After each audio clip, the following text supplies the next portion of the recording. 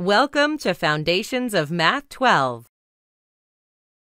This math course allows you to explore the natural world of numbers and patterns. Within each unit, you'll learn to recognize patterns, solve problems, and better understand the world around you. While learning mathematical big ideas, you will also build strengths in the core competencies.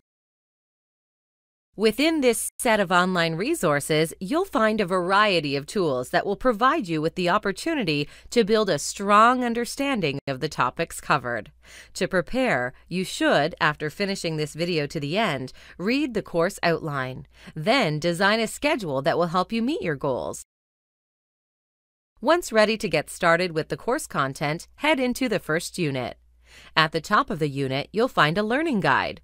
As you work through the lessons, you'll be using the Learning Guide to help you take notes and practice new skills. Keep your Learning Guide neat and well organized so it's ready for submission at the end of the unit. Throughout the unit, you'll also find quizzes, assignments, tests, and or projects.